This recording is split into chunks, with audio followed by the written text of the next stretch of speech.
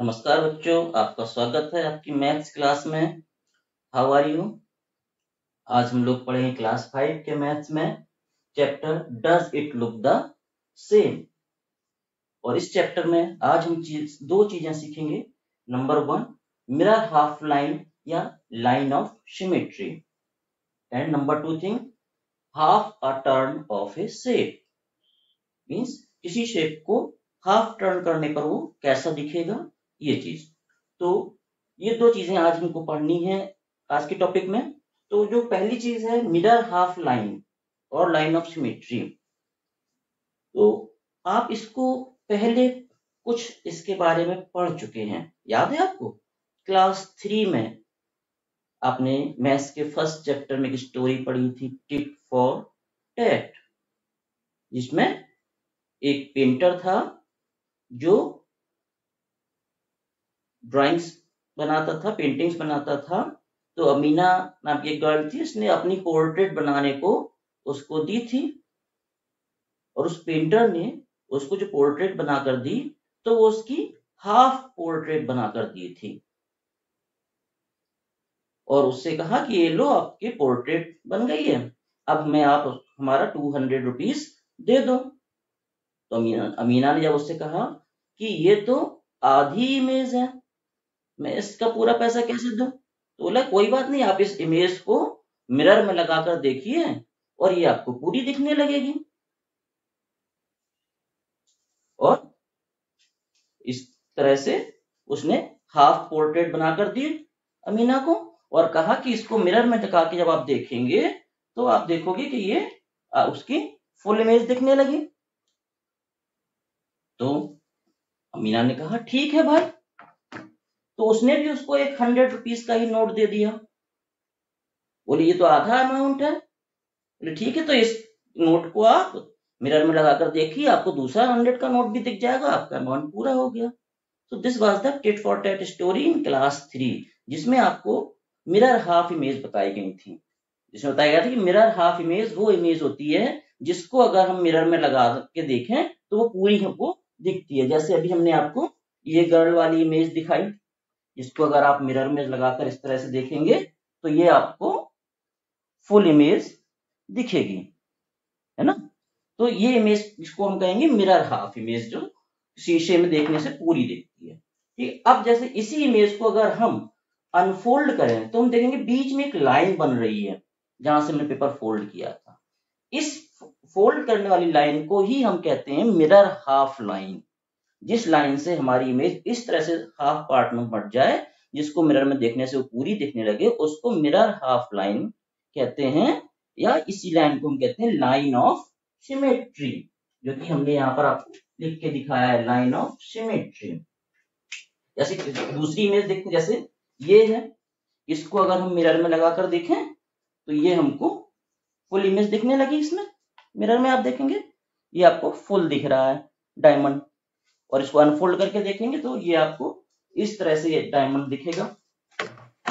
तो अब इसमें जो बीच में ये जो लाइन बन रही है, ये है इसकी मिरर हाफ़ लाइन या लाइन ऑफ़ सिमेट्री अब देखिए लाइन ऑफ़ सिमेट्री का मतलब क्या हुआ? वो लाइन जो किसी भी शेप को दो बराबर भागों में बांटती है हाफ़ दो पार्ट करती है। इसीलिए मिरर हाफ़ कहा गया। तो दो और वो दो भाग ऐसे होते हैं जो एक दूसरे को पूरा ओवरलैप कर लेते हैं। कहीं से भी एक्स्ट्रा नहीं निकलते। जैसे, मान लीजिए हमने एक पेपर लिया। जैसे ये पेपर इसको अगर हम इधर से फोल्ड करेंगे तो ये हाफ़ हो गया और इसने दोनों पार्ट्स दोनों हाफ़ ने एक दूसरे को पूरा कवर कर लिया। इसी तरह से इसको हमने इधर से फोल्ड किया। ये भी हाफ़ हो गया और दोनों हाफ़ ने इसको पूरा ओवरलैप कर लिया कवर कर लिया। लेकिन अगर हम इसी हाफ़ को तो ये जो दोनों लाइनें हुई हॉरिजॉन्टल और वर्टिकल लाइंस जो हुई, ये इसकी मिरर हाफ़ लाइन और लाइन ऑफ़ सिमेट्री हुई। तो एक शेप में एक से ज़्यादा लाइन ऑफ़ सिमेट्री हो सकती है। अब इसी शेप को अगर हम इस तरह से फोल्ड करें तो आप देखेंगे, ये हाफ़ तो हो गया दो पार्ट हाफ़ आधा आधा ये हो गया, आधा ये आधा ये। लेकिन ये दोनों पार्ट एक दूसरे को पूरा ओवरलैप नहीं कर रहे हैं अलग अलग जा रहे हैं। तो इसको हम मिरर हाफ़ नहीं कहेंगे। ये जो लाइन है, इसको हम लाइन ऑफ़ सिमेट्री नहीं कहेंगे। जो diagonal line of symmetry line बनी है, इसको हम लाइन ऑफ़ सिमेट्री नहीं कहेंगे। देख, क्यों नहीं कहेंगे? देखिए आप इसको मिरर में लगाकर। अगर हम इस लाइन से इस पेपर को मिरर में लगाते हैं तो ये पेपर हमको ओरिजिनल शेप में नहीं दिखता है। जिस तरह से जो हमारा पेपर था, वो पेपर नहीं दिखता है। अलग शेप इसका हमको दिखने लगता है। और अगर हम इसको इधर से फोल्ड करके मिरर में लगाएँगे तो हमको अपना फुल पेपर ये दिखने लगा जैसा हमारा पेपर ओरिजिनल था। तो इस तरह से जो मिरर हाफ़ होते हैं, वो दो हाफ़ ऐसे होते हैं जो एक दूसरे को पूरा ओवरलैप करते हैं। ठीक है? ये मिरर हाफ़ नहीं होगा। इसको मिरर हाफ़ करने के लिए या तो हम इसको इधर से फोल्ड करेंगे या फिर इधर से फोल्ड करेंगे। तो ये वाली हॉरिजॉन्टल लाइन जो बनेगी, ये या फिर ये जो वर्टिकल लाइन बनी है, ये ये मिरर हाफ़ लाइन या इसकी लाइन ऑफ़ सिमेट्री कहलाएँगे। ठीक? अब ऐसे कुछ इमेज कलरफुल होती हैं, जैसे ये है। इसको अगर हम बीच से फोल्ड करें तो ये हाफ़ तो हो गया, इसने एक दूसरे को ओवरलैप कर लिया दोनों पार्ट लेकिन आप देखेंगे, ये इधर पर आपको पिंक कलर दिख रहा है और इसके पीछे इधर येलो कलर है। तो अगर हम मिरर में लगाकर देखें तो ये हमको दोनों साइड येलो कलर दिखा रहा है। शेप वही बन जा रहा है, लेकिन दोनों साइड येलो कलर दिखा रहा है। जबकि ओरिजिनल में, इसमें एक साइड येलो है और एक साइड पिंक है। तो शेप की कलर स्कीम भी उसको मिरर हाफ़ होने से रोक देगी। यानी ये जो लाइन है, ये लाइन ऑफ़ सिमेट्री इसकी नहीं कहलाएगी इस शेप की, क्योंकि दोनों में कलर अलग अलग तो कलर ऑफ़ कलर स्कीम की वजह से लाइन ऑफ़ सिमेट्री चेंज हो जाती है या हट जाती है। तो यानी इस शेप में ये लाइन ऑफ़ सिमेट्री नहीं कहलाएगी। ओके अंडरस्टूड तो ये तो लाइन ऑफ़ सिमेट्री हुई। अब जैसे ये शेप आप देख रहे हो, ये पूरा शेप है। अब इसको अगर हम बीच से फोल्ड करें और इसको हम मिरर में देखेंगे तो ये हमको पूरा दिखेगा। ये हमारा जिस तरह से क्राउन था क्राउन मिरर में हमको पूरा दिखने लगा। तो ये जो है, जो लाइन हमारे शेप को दो बराबर ऐसे भागों में बांट रही है, जिनको हम मिरर में देखने पर, जिस लाइन पर मिरर को रखने पर, यानी अगर हम यहाँ पे मिरर रखें तो ये इमेज हमको पूरी दिखने लगती है। तो इस, ये लाइन जो बनी, इसको हम लाइन ऑफ़ सिमेट्री या मिरर हाफ़ लाइन कहते हैं ओके तो अब आपको मिरर लाइन हाफ़ लाइन समझ में आ गया? अब हमारा दूसरा टॉपिक है half a turn of a shape तो पिछले चैप्टर में आपने अभी हाफ़ और क्वार्टर्स पढ़े हैं फ्रैक्शंस पढ़े हैं तो हाफ़ का मतलब हुआ आधा, ठीक है ना? तो जब आप मॉर्निंग असेंबली में लाइन में लगते थे स्कूल में, जब स्कूल खुले होते थे तो जब आपको इंस्ट्रक्शन दिया जाता हाफ़ टर्न तो आप जैसे खड़े होते थे, उसके अपोजिट साइड मुँह करके खड़े हो जाते थे। तो हाफ़ टर्न का मतलब हुआ, हमारी जो पोजीशन है, उसके अपोजिट पोजीशन जैसे आप देखें, ये गर्ल अगर ये ऐसे खड़ी है, और अगर इसको हम रोटेट करके इसके पैर ऊपर और सर नीचे कर दें तो ये हो गया इसका हाफ़ टर्न इसको हम कहेंगे हाफ़ टर्न ठीक है ना? इसी तरह से, जैसे ये एरो है, इधर शो हो रहा है, ठीक है ना ये एरो अब अगर इसको हम घुमाकर इस तरह से कर दें तो ये हो गया इसका हाफ़ टर्न यानी जो हमारा शेप है, जिस पोजीशन में था, उसके अपोजिट पोजीशन में पहुँच जाए तो उसको कहते हैं हाफ़ टर्न ओके अंडरस्टूड तो इस तरह से हम देखते हैं कि कुछ शेप जो है वो हाफ़ टर्न होने पर चेंज हो जाते हैं और कुछ शेप हाफ़ टर्न करने पर चेंज नहीं होंगे। जैसे ये है, इसको अगर हम हाफ़ टर्न करेंगे तो ये हमको डिफरेंट दिखने लगेगा, यानी अब ये नीचे से ट्राइंगल्स का आ गया और इधर से ये दिख रहा है। इस तरह से हाफ़ टर्न करने पर इसकी पोजिशन चेंज हो गई। इसी तरह से ये एरो ये अभी इस तरफ़ है। अगर मैंने इसको टर्न किया तो ये इसका एरो का मुँह साइड हो गया, ये हाफ़ टर्न हुआ तो ये इसकी शेप चेंज हो गया।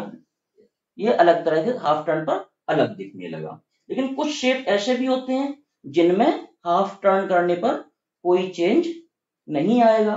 जैसे अभी हम जो पेपर लिए थे, ये एक रेक्टेंगल का शेप हो गया। अगर इसको हम ऐसे रखे हैं और इसको हम घुमा दें हाफ़ ये, तब ये वैसे ही दिख रहा है जैसे पहले दिख रहा था तो इस तरह के शेप में कोई चेंज नहीं आएगा। इसी तरह से अगर हम कोई स्क्वायर ले लें या सर्किल ले लें, उनको अगर हम हाफ़ टर्न करें तो उनमें कोई चेंज नहीं आता है। जब आप आप देखते हैं कि जब हम किसी भी चीज़ को एक पूरा राउंड घुमाते हैं तो ये एक सर्किल फॉर्म करता है, इस तरह से। जैसे घड़ी में मिनट हैंड है, एक राउंड पूरा करता है तो एक सर्किल फॉर्म होता है। तो आपको पता है सर्किल में 360 डिग्री होते हैं। ठीक है ना? तो जो हम हाफ़ टर्न करते हैं, इसका मतलब ये टर्न जो है 180 डिग्री टर्न होता है। यानी हमारा जो शेप इस तरह से था, ठीक है ना? और इसको हमने टर्न किया तो ये नीचे की साइड में आ गया तो ये जो रोटेशन हुआ, ये 180 डिग्री का रोटेशन हो गया। अंडरस्टूड तो ये होता है हाफ़ टर्न तो I hope you have understood now half turn and mirror half line okay now we will look some questions in our book अब हम बच्चों बुक के पेज नंबर 73 पर दिए हुए क्वेश्चन को देखते हैं। इसमें कुछ इमेजेस दी हुई हैं। हमें ये बताना है कि इन इमेजेस में डॉटेड लाइन से वो टू मिरर हाफ़ में डिवाइड हो रही हैं या नहीं हो रही हैं। इस क्वेश्चन है which shapes are divided into two mirror half by the dotted line तो वो आप इसमें देखेंगे। इमेज वन है, जो डॉटेड लाइन है तो लेफ़्ट साइड डॉटेड लाइन के ऊपर रेड कलर है, जबकि मिरर इमेज में भी फिर वो रेड कलर ही नीचे शो होना चाहिए, जबकि नीचे व्हाइट है। तो इस हिसाब से जो हमारी इमेज वन है, वो मिरर हाफ़ नहीं होगी। ओके तो जो इमेज वन है, ये हमारी मिरर हाफ़ नहीं है। इसका देखिए इमेज टू में अगर हम लेफ़्ट साइड देखें पेपर फोल्ड जिस तरह से, उसी तरह से मिरर हाफ़ में राइट साइड में भी होना चाहिए, लेकिन इसमें भी नहीं है तो इस तरह से हमारी इमेज टू भी मिरर हाफ़ नहीं होगी। इसके बाद इमेज थ्री लीफ में है।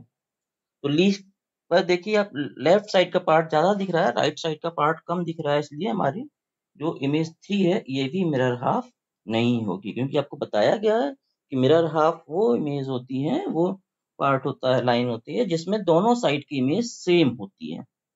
अब देखिए क्वेश्चन जो इमेज नंबर फोर है, इसमें आप देखेंगे लेफ़्ट साइड में ब्लू कलर है और राइट साइड में व्हाइट है। तो इस तरह से हमारी इमेज नंबर फोर भी मिरर हाफ़ नहीं होगी। अब जो next image image number five इसमें हम देखेंगे तो इसमें देखिए दोनों साइड सेम दिख रहा है। हमारी इमेज जो फाइव है, ये मिरर हाफ़ होगी। इसी तरह से इमेज सिक्स भी मिरर हाफ़ होगी।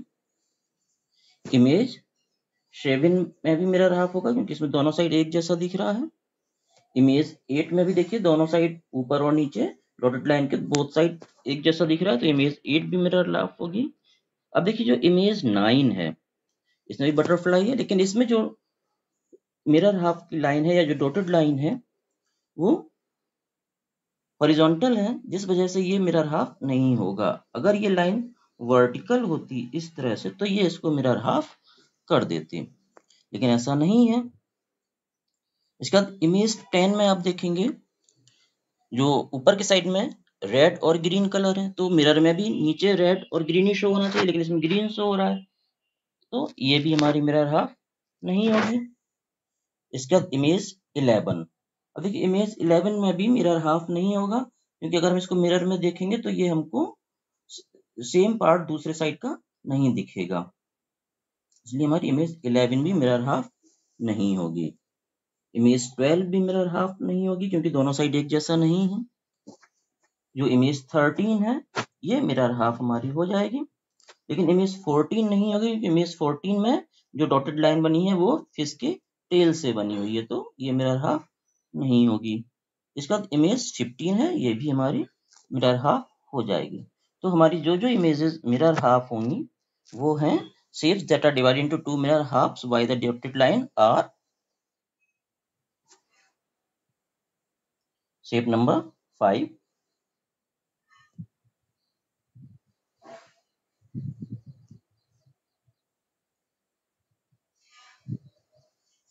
shape number 6 shape number 7 shape number 8 shape number 13 and shape number 15 so these shapes are mirror are divided into two mirror halves by the dotted lines. Okay. Now look other mirror game.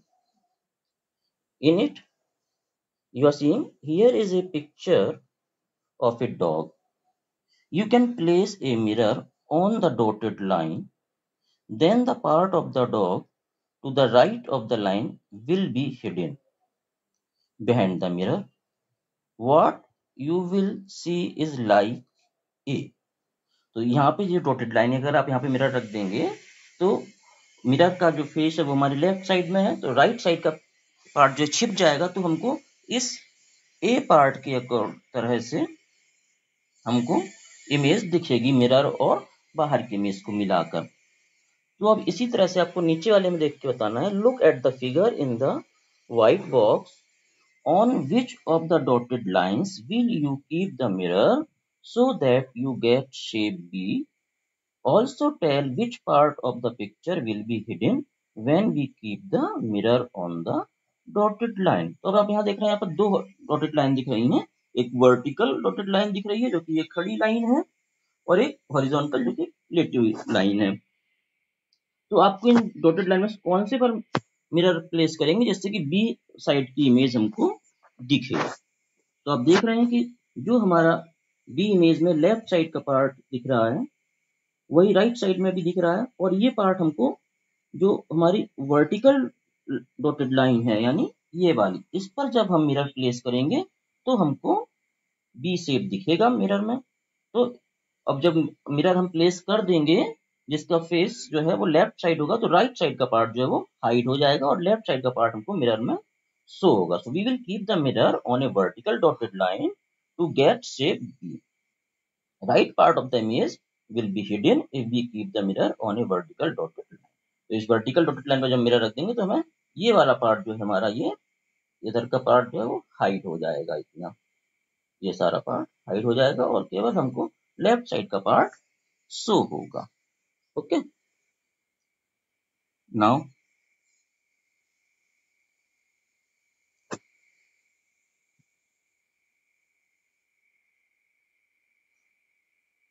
अब यहाँ पर भी देखिए कुछ images दी गई हैं। इनमें भी आपको ये बताना है जो व्हाइट बॉक्स में इमेजेस हैं, इनमें आप कहाँ पर मिरर प्लेस करेंगे, जिससे कि हमको लेफ़्ट साइड का इमेज जो है वो शो होने लगे। तो इसमें आप देखेंगे जो व्हाइट फ़र्स्ट वन है, जिसका सीप इमेज दिख रहा है हमको तो इसमें आप देखेंगे किसका मुँह दिख रहा है लेफ़्ट साइड से और वही पार्ट इसमें दिख रहा है। तो इसमें जो हम मिरर प्लेस करेंगे, वो पोजीशन होगी ये वाली। यानी यहाँ से हम इसमें मिरर प्लेस करेंगे।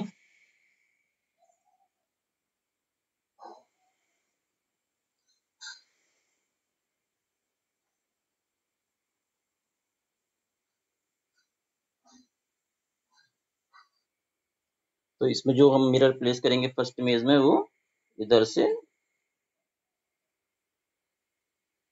इस तरह से ये मिरर इमेज शो करेंगे। ये इस इमेज में आपको दिखा रहे हैं। डॉटेड लाइन दिख रहा है कि मिरर को पोजीशन किया। इसी तरह से जिसमें हमको डी शेप दिख रहा है, इसमें आप देखेंगे कि हमको इसको मुँह दिख रहा है। ठीक है ना?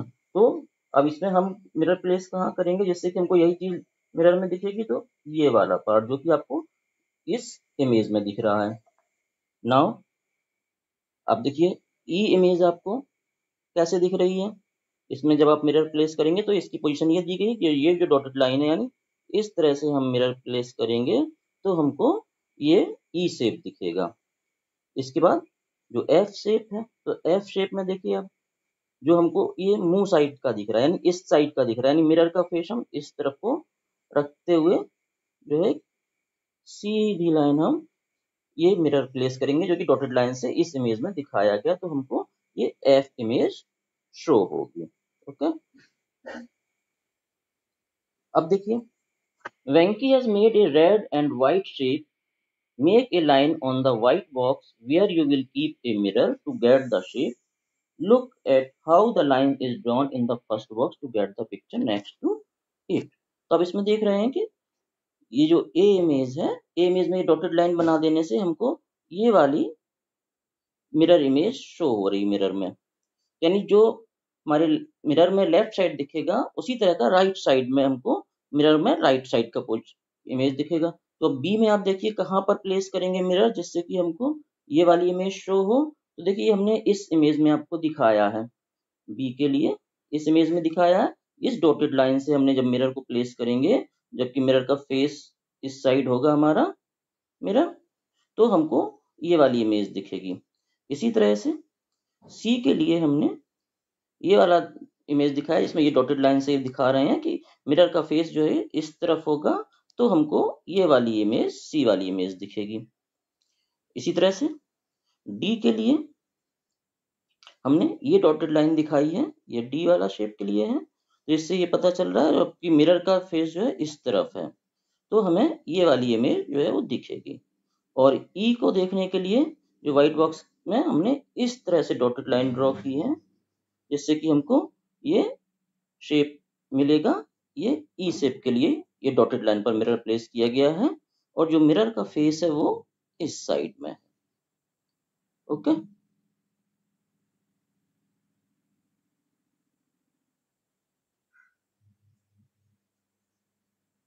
अब देखिए half a turn half a turn आपको जैसे बताया कि आप जिस पोजीशन में उसके अपोजिट पोजीशन में इमेज को शेप को कर देना, वो हाफ़ टर्न कहलाता है। जैसे आप यहाँ पे देख रहे हो बॉयज़ की तीन इमेजेस हैं। एक बॉय सीधा हाथ पर करके खड़ा हुआ है, एक लेटा हुआ है और एक अपसाइड डाउन है। तो जो अपसाइड डाउन वाला है, ये हाफ़ टर्न है। दिस इज़ हाफ़ टर्न यानी इसके जो ऊपर था, हाथ वो नीचे आ गया और पैर ऊपर चला गया तो ये हाफ़ टर्न हो गया। और जो लेटा हुआ बॉय है, ये वन फोर्थ टर्न होगा।